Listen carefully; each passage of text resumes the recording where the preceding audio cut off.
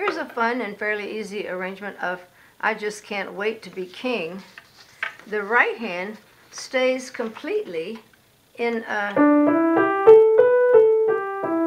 that's a G pentatonic scale, played from here. The only change is you're going to sometimes have a B flat instead of a B natural. And then on the little tag, you're going to shift to an E blue note position. Like that.